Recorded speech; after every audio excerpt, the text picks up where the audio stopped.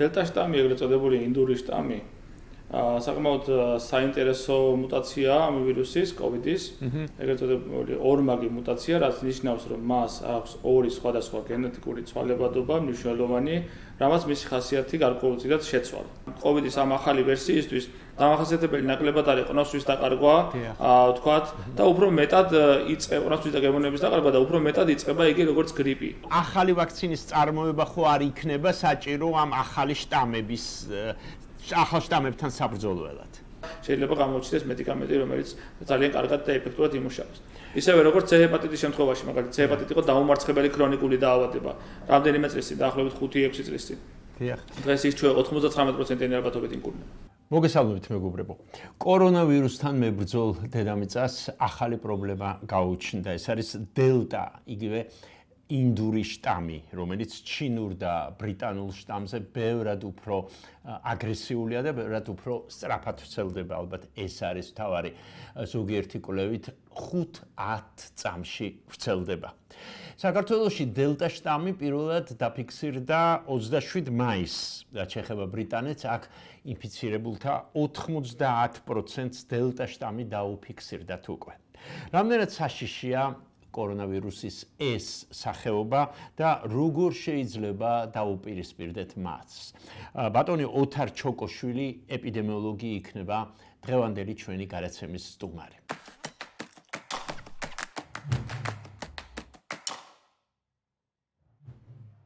ჯერტი დიდი მადლობა რომ დაგვთახდით ამ ინტერვიუზე. მოგეხსენებათ რომ დელტა შტამის დელტა შტამი უკვე ძალიან აქტუალური თემა არის და ქალაქში საუბრობენ ამ თემაზე.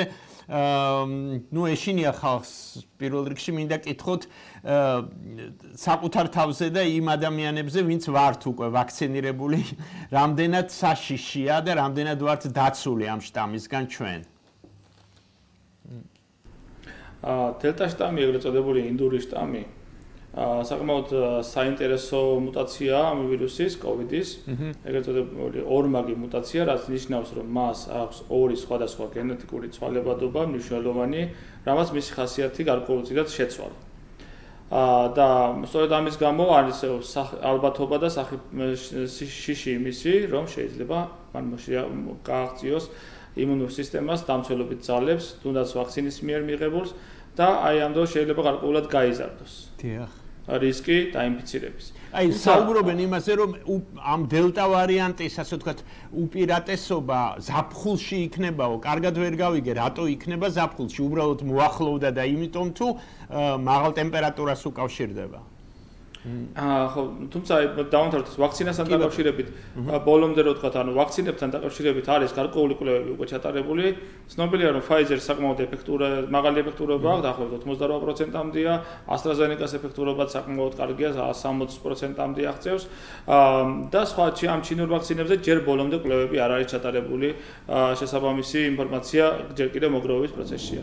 რაც შეეხება მოსალოდნელ გავრცელებას, ანუ ზუსტად ეს არის პერიოდი ახლა ამჟამად იკრებს იგი მსოფლიოში ძალას.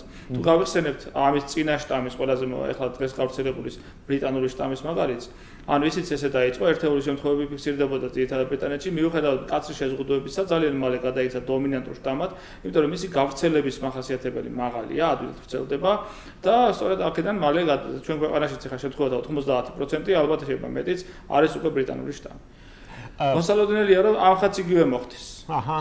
და მაგრამ დრო არის საინტერესო რამდენ ხანს გაგრძელდება. ანუ რამდენ ხანს ჭირდება ამ შტამს დრო რომ იაქტიუროს ну იმისთვის კი მზად უნდა ვიყოთ რომ ახალი შტამი გვექნება. გასაგებია უკვე ამას შევეჩვიეთ. მაგრამ აი რამდენ ხანს გრძელდება და საერთოდ ეს მუტაციები როგორც მე ვხედავ უსასრულოდ გაგრძელდება დრო ანუ ამჟამად ცოტა და ნებისმიერ შემთხვევაში ძნელია თქმა რამდენ ხანს აგრძელდება იმიტომ რომ ბევრი ფაქტორი მოქმედებს. აქ ერთი თვითონ რამდენად შევძლებთ საზღვარზე მის შეკავებას. ანუ ქვეყანაში შემოსვლის შეკავებას მეორე, როგორი იმუნიზებული ფენა უნდა დავახვედროთ ჩვენ, ანუ როგორი იმუნიზებული ფენას დავახვედრებთ. მოსახლეობის რა ნაწილი გვეყოლება აცრილი, ან გადატანილი ინფექციით უკვე რომ გარკვეული იმუნური ფენა შეხვდეს მას. დიახ. აა და თქვათ, თვითონ რა თქმა უნდა, მესამე ინფექციის კონტროლის წესებს და ღონისძიებებს ამდენად კარგად დავიცავთ. ხო, რადგანაც წესები და ღონისძიებები ის არასპეციფიური წესები და პრევენციის ღონისძიებები, რაც არის პირბადი ხმარება, დისტანცია, ჰიგიენა, ასეთ შემთხვევებში ნებისმიერ ამ ვირუსზე მოქმედებს. იმას არა აქვს მნიშვნელობა შტამისთვის, ანუ ამიტომ ეძახეთ არასპეციფიურს. ხოლო სპეციფიური ვაქცინაცია არის ძალიან სპეციფიური ამ დაავადებისთვის და ამ შემთხვევაში ვაქცინაციის მოცვა მაღალი უნდა იყოს, მით უმეტეს უფრო ეფექტური ვაქცინებით, რომ შევძლოთ ამ ვირუსისგან თავდაცვა. რაც შეეხება მუტაციებს, ვირუსი მუდმივად განიცდის მუტაციას, იგი მუდმივად ცვალებადობს და შესაბამისად ამ დროთა განმავლობაში ყალიბდება სხვადასხვა შტამები, მათ შორის ზოგი აგრესიული, ზოგი სწრაფად გავრცელებადი, ზოგი შედარებით ნელა გავრცელებადი. საბოლოოდ კი ნებისმიერი ვირუსი მიისწრაფის იმისკენ, რომ თავის მასპინძელს ისეთი მდგომა მაწმინდებთან ისეთ ჰარმონიაში და კოჰაბიტაციაში თუ შეიძლება ვექნოთ ეს სიტყვა შევიდეს, რომ არ გამოიწვიოს მისი ადვილი მოკვდინება და დაზიანება. მაგრამ გავრცელდეს და იცხოვროს და თავისი ცხოვრებისთვის კარგი პირობები შეიქმნას, ასე თქვა წყალებში. ანუ ეს რეალურად ყალიბდება ბუნებრივი გადარჩევის გზით. და ვირუსების მხოლოდ ის ფორმები გადარჩებიან, რომელიც შედავით სუბუქ ფორმებს მათ მიმდინარეობს ხოლმე, იმიტომ რომ ძიმე ფორმას ან ძლიერად ვებრძვით, ან მეტი იმუნი ძლიერი იმუნიტეტი შეხვდება და ძლიერი იმუნიტეტს გამოიჩავს ორგანიზმი, ან საბოლოოდ ლეტალური გამოსავლით თავდება და ვირუსის გამრავლება სრულდება ასეთ ეტაპზე ხოლმე. თუმცა ვირუს მე როგორც ხვდები არაწყობს ასე ვთქვათ ლეტალური დასასრული. თქვენი სიტყვებით მივხვდი. ანუ კომფორტი აწყობს, ხო? თანდათანობით ვირუსის ანუ შტამები მარტივად ვთქვათ გადაერჩევა ხდება. როგორც ადამიანი ეძებს კარგ საცხოვრებელ პირობებს ვირუსიც ასე ეძებს და ის ადამიანები რომლებიც რომელთა ნაწილიც ანუ ნებისმიერ შემთხვევაში მოხდებიან ან ადამიანები ან თუნდაც სხვა ბიოლოგიური არსებები მოხდებიან შედარებით კარგ საცხოვრებელ პირობებში ის სახეობები გადარჩებიან. ამ შემთხვევაში და თუ ვირუსი შედარებით სუბუქად განვითარება დაავადებას გამოიწვევს და ჩვენ მას ასე ძლიერ არ შევებრძოლებით მაშინ ის ეს შტამები უფრო დომინანტური გახდება. გარდა ამისა, ეს ვირუსებიც ერთმანეთს, ანუ შტამებიც ერთმანეთს უწევენ კონკურენციას. თქვა თუ მე უკვე დავავადდი რომელიმე სხვა შტამით, მანამდე არსებულით. დიდი ალბათობით აღარ დამემართება, თქვათ, ეს ახალი მუტირებული შტამი, იმიტომ რომ მე უკვე იმუნიტეტი მაქვს და სუბუქმა შტამმა გამოიმუშავა იმუნიტეტი ჩემს ორგანიზმში და ამით მე გარკვეულწილად უკვე დაცული ვარ ვირუსის მიმართ. გავიგე. აი, რამდენად ექვემდებარება ამ ახალი შტამის მკურნალობა იმ, ну, ასე ვთქვათ, უკვე არსებულ საშუალებებს, მე მედიკამენტებსაც გულისხმობ, რა თქმა უნდა.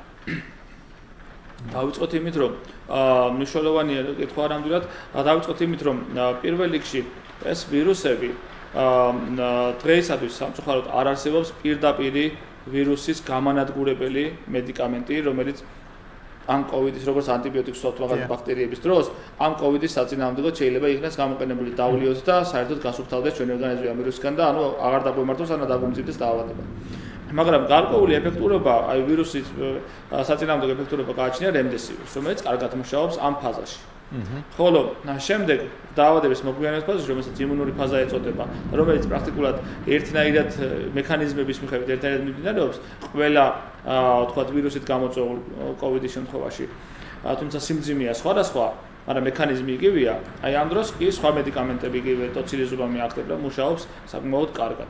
და აი ეს მედიკამენტები, რა თქმა უნდა, კვლავ შეიძლება გამოყენებული იყოს და საკმაოდ ეფექტურად და მათი გამოყენების ძალიან დიდი იმედი გვაქვს. გარდა ამისა, რა თქმა უნდა, ვაქცინირებულ ადამიანებს ნაკლები აქვს გართულებების ალბათობა, იმიტომ რომ მათ ვაქცინამ გამოუმუშავა გარკვეული იმუნიტეტი, რომელიც ან სრულად დაიცავს მათ, ან სუბუქად წავა მათ ორგანიზმში, იმიტომ რომ მათი ორგანიზმი უკვე მობილიზებულია, იცნობს გარკვეულად ვირუსს და იმუნური სისტემა უკვე გაცნობილი რომ არის ამ ვირუსს შედარებით ადვილად ამზადებს ანტისხეულებს, ანუ ადვილად ებრძვის ახალ ვარიანტს ვირუსის. ბატონო, აი ამ ტესტებში ჩანს ეს განსხვავებული მუტაციები და განსხვავებული ფორმები, ანუ მე რომ ეხა დავიტესტო, მე მეტყვიან ეს დელტა შტამია თუ რომელიმე სხვა? თუ არა? როგორ არის სამწუხაროდ, ანუ ესეთი ადვილი არ არის, ანუ გენეტიკური ანალიზი უნდა ჩატარდეს იმისთვის, რომ დავადგინოთ ვირუსის რომელი ტიპი თუ არ ემცირება. ჩვენ უბრალოდ ანუ ის ტესტები რაც არის გამზადებული, ისინი აღმოაჩენს, რომ კონკრეტული ეს სახეობისთვის არის, ანუ ამ სახეობის, ანუ კორონავირუსის, ვთქვათ, ახალი კორონავირუსის არსებობს ამ ორგანიზმში და ახალი კორონავირუსით არის ადამიანი დაავადებული. მაგრამ ის რომ ეს ინგლისური შტამია, ვთქვათ, ვთქვათ, ფრანგული თუ ეგრეთ წოდებული ინდური ან დელტა შტამია, ამას სამწუხაროდ ეს ტესტი ვერ განსაკუთრებს, მაგრამ არსებობს სპეციფიკური ტესტები, რომელიც გენეტიკური ანალიზისთვის გამოიყენება, უკვე PCR-ი ყოველთვის ცნობილია, PCR-ი ან პოლიმერაზის ჯაჭვური რეაქცია, ეს მეთოდი რომელსაც ფართოდ ვიყენებთ, მაგრამ ამის გარდა არსებობს კიდე გენეტიკური ანალიზი. და სწორედ ამ გენეტიკური ანალიზის მეთოდით ხდება საბოლოოდ განსაზღვრა რომელი ვირუსია. და სწორედ ამის საშუალებით არის დადგენილი ის, რომ დღეს რამდენი შემთხვევაც არის გამოცხადებული, ასეთი მხოლოდ ამ შემთხვევებზე დაფუძნებული, რომელთა გენეტიკური ანალიზით ჩატარდა. და გენეტიკური ანალიზი ვატარებთ იმ შემთხვევაში, თუ არის შესაბამისი ეპიდემიოლოგიური მაჩვენებლები, მაგალითად ადამიანი არის თქვა იმ ქვეყნიდან სადაც ეს გავრცელებულია ფართოდ, ან აქვს კლინიკური მახასიათებელი, ან ეპიდემიოლოგიური ნიშან-თვისება, რომ კავშირში იყო იმ აი ეს ადამიანები, ვისაც ეს მახასიათებელი მაინც აქვს ამ შტამს. მაინც შეიძლება ვიცნოთ. როგორ ვერ გავიგე კითხვა რაღაც მომენტში გაწალა თქვენმა კლინიკური მახასიათებელი თქო თქვენ თქვით. ესე იგი მაინც მე ამ დელტა შტამს აქვს რაღაც მახასიათებელი რომელიც ეჭვ შეიძლება შეგვეპაროს რომ ეს არის დელტა. ბოლო პერიოდში გავრცელებული ინფორმაციით აა არის ეს מחასიათებლები კლინიკურად მნიშვნელოვანი, რომ უფრო ნაკლები არის ამ COVID-ის ამ ახალი ვერსიისთვის დამახასიათებელი ნაკლებად არის ყნოსვის დაკარგვა, აა ვთქვათ, და უფრო მეტად იწყება ყნოსვის და გემოვნების დაკარგვა და უფრო მეტად იწყება იგი როგორც გრიპი. და გრიპის მსგავსი სურდოს მოვლენები და გრიპის მსგავსი სიმპტომებით უფრო ხშირად იწყება. ეს ერთ-ერთი შესაძლო კლინიკური ნიშანი შეიძლება იყოს. გარდა ამისა, რა თქმა უნდა, ეპიდემიოლოგიური ანამნეზი აქვს ძალიან დიდი მნიშვნელობა. ანუ ადამიანი იყო თუ არა კავშირში ან დელტა შტამით დაავადებულთან, ან ისეთ ქვეყნებში, სადაც ეს ვირუსი უკვე აი შტამი უკვე ძალიან გავრცელებულია. თუ ეს მონაცემები არსებობს, ეს არის ერთ-ერთი არაპირდაპირ იმტკიცებულება იმისი, რომ თქვა ასეთ არსებობს ალბათობა, რომ ადამიანი იყოს ამ შტამით ინფიცირებული. თუმცა ზუსტი ტესტი მხოლოდ და მხოლოდ გენეტიკური ანალიზია ვირუსის. ხო, სამწუხაროდ რუსეთში არის ეპიდაფეთქება და როგორც ამბობენ, სწორედ დელტა შტამია გავრცელებული, ამ დროს ჩვენი სახმელეთო საზღვარი ღიაა და არ ვიცი რამდენად რამდენად დროული იყო ახლა ეს ლიბერალიზაცია დავარქვი ამ პროცესებს, რომელსაც ახლა აქვს ადგილი, ხო? მაგრამ ნუ ნახოთ, მე კიდე რა მაინტერესებს, აი ვაქცინების წარმოების პროცესი თავად ახალი შტამების წინააღმდეგ იცვლება თუ არა? ანუ ახალი ვაქცინის წარმოება ხო არ იქნება საჭირო ამ ახალი შტამების ახალ შტამებთან საბრძოლველად? აა ვაქცინები ანუ ფართო თემაა საერთოდ ვაქცინების წარმოება ცოტა ისეთი სპეციფიკური პროცესია. და როგორც წესი ვაქცინები მზადდება ხოლმე იმ ყველაზე გავრცელებული შტამების მიხედვით და მათი გენეტიკის მიხედვით, რომელიც ანუ უფრო მეტად ქმნის პრობლემას. მაგალითად, გრიპის შემთხვევაში ყოველწლიურად გრიპის ვაქცინა ახალ-ახალი ვარიანტებით მზადდება იმის მიხედვით, რომელი შტამებია გავრცელებული. და არ არსებობს დიდი ალბათობა, რომ კოვიდის შემთხვევაშიც იგივე მოგვიწიოს და დაგჭირდეს და რა თქმა უნდა, ეს მეთოდიც შეიძლება გამოყენებული იქნას იმისთვის, რომ ახალი შტამების მიმართ უფრო ეფექტური ვაქცინა შევიმუშაოთ და მოცირკულირ შტამებზე კარგად მოქმედი ვაქცინა შევიმუშაოთ. ვიმუშაოთ. გარდა ამისა, საბედნიეროდ ანუ არის მუშაობა იმაზე და არის გარკვეული ინფორმაციები, რომ გარკვეული ქვეყნები, მაგალითად ისრაელი და სხვები, აა უკვე მიდიან იქით, რომ ისინი ახერხებენ აა თქვათ მათ გამოთქვეს რამდენიმე უკვე ვარაუდი და პრაქტიკულად დამტკიცების პირასაც ჯერ არ არის, მაგრამ ეს მედიკამენტები არსებობს, რომლებსაც შეიძლება პირდაპირი მოქმედება, ანუ ანტივირუსული მოქმედება ქონდეს ამ ვირუსზე და შეიძლება გამოჩნდეს მედიკამენტი, რომელიც ძალიან კარგად და ეფექტურად იმუშავებს. ისევე როგორც C ჰეპატიტის შემთხვევაში, მაგალითად C ჰეპატიტი იყო დაუმარცხებელი ქრონიკული დაავადება, რამდენიმე წელი წინ, დაახლოებით 5-6 წელი წინ. დიახ. დღეს ის ჩვენ 99%-იანი ალბათობით იმკურნება. დიახ, აი მე მინდა რომ ამ იმედით დავასრულოთ ჩვენი საუბარი. ძალიან დიდი მადლობა ბატონო ოთარ. მადლობა თქვენ, წარმატებებს და წარმატებას გისურვებთ.